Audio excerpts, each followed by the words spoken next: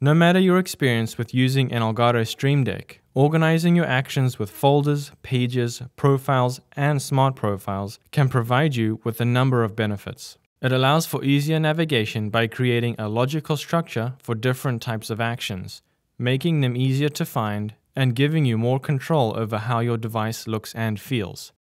Additionally, it enables you to quickly switch between different sets of functions saving you time and freeing up some of the legwork involved in navigating your Stream Deck. Folders give you many helpful functions, including the ability to group different actions. Keep your audio actions in one folder and your stream actions in another folder. This helps organization and your workflow. Lastly, Pages offer another method of organization and quickly accessing top level actions and expanding your Stream Deck's capability.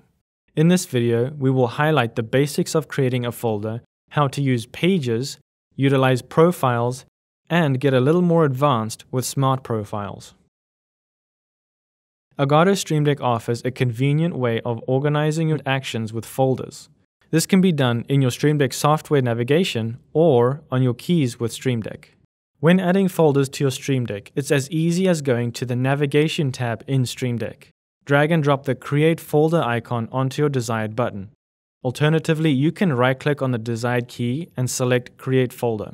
You can also make use of the search button for any actions that we will mention in this video.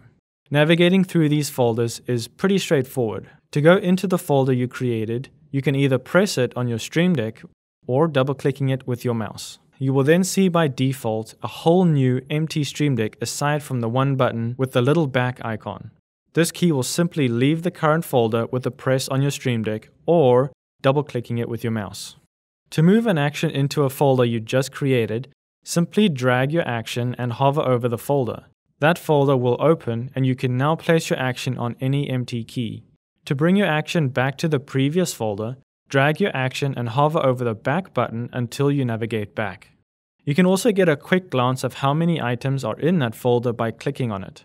You can choose to rename that folder and even select a custom or pre-made icon on that folder. To select a pre-made icon from Stream Deck library, click the plus icon and choose what you like. You can also download additional icons in the Stream Deck store. Check out this video if you want to learn more about how to take your Stream Deck icons to the next level. You can even upload your own custom icons by clicking on the drop-down arrow and go to Set from File or create your own with Create New Icon. This will take you to Elgato's Key Creator where you can have all the creative freedom you want without having to download any software. You can create as many folders as you like and even create new folders within folders. Pro tip if you are far down the line of subfolders, you can simply long press the back button on your Stream Deck for at least one second, and this will take you back to the root level. Creating these subfolders will help if you own a smaller Stream Deck and would like to keep your streaming icons in one folder and your audio icons for another application in another folder. A really neat and unique feature of any Elgato Stream Deck are pages. First, let's take a look at what pages are and how they can be used. Pages are like tabs in your browser that you can switch between in Stream Deck. To get started, you'll want to click the plus button to add a new page. Once you've created a few pages, it's time to add actions and assign them to their respective pages. Simply drag and hover over the next page icon. This will let you drag actions to the next page. Navigating through pages on Stream Deck is easy. To move between pages, simply click on the action in the navigation section of your Stream Deck application. Alternatively, you can also use your Stream Deck buttons by pressing that action. Once you select a page, it'll become active and you can carry out any actions assigned on it, making it even easier to customize your experience. With Stream Deck Plus, you can use the touch strip to swipe between pages. Another way to move actions to another page on Stream Deck Plus is by clicking and holding the desired action and swiping with your finger on the touch strip. This will allow you to place that action on another page. Profiles on the Stream Deck are a collection of pages, folders, shortcuts, actions, and applications. Profiles contain the blueprint of how your Stream Deck is structured. Each profile can be configured to include any combination of these items for quick access, as well as allowing you to customize the look of each button. By saving multiple profiles, users can easily switch between different Stream Deck configurations without having to reconfigure each one from scratch. With this feature, you can take full advantage of your Stream Deck device and get more out of it with the click of a button. Creating a new profile on the Elgato Stream Deck is easy and can be done in just a few steps. In the Stream Deck app, click on the Profile dropdown and select New Profile. You will then be able to add any desired actions specifically for that profile. If you wish to create a new profile in the settings of Stream Deck, select the Preferences icon. From there, make sure you are in the Profiles tab and find the Add Profile button at the bottom of your window. You can also rename profiles by right clicking or double clicking that profile and add any desired applications or actions that you would like to include.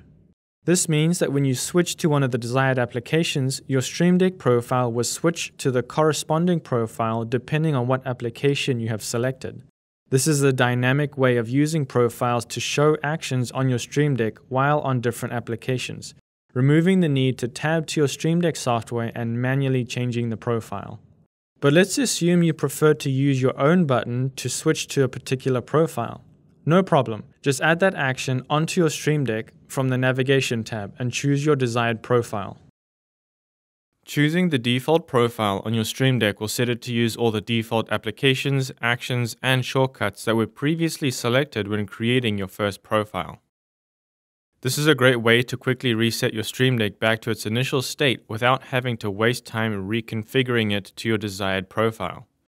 To choose the default profile on your Stream Deck, select Preferences from the menu. From there, go to the Profiles tab and select your profile. Then check on Make this my default profile. Your Stream Deck will now be set to use your default profile whenever it boots up. It's important to note that all Elgato's Stream Decks support each function, action, profile, folders, and page features, but the Elgato Stream Deck pedal does not support folders. Furthermore, the Elgato Stream Deck Plus has some additional functionality thanks to its dials and touch strip. If you'd like to know more about each Elgato Stream Deck product and what they can do, Check out the link in the description that will direct you to the Elgato Stream Deck device comparison guide. And if you're more curious about what the Elgato Stream Deck Plus offers and how to best utilize it, take a look at this video, which we'll link in the description as well. If you have any questions, please let us know in the comments below. And don't forget to leave a like and subscribe with the notification bell on to get notified on future videos, news, and Elgato products. Thanks for watching.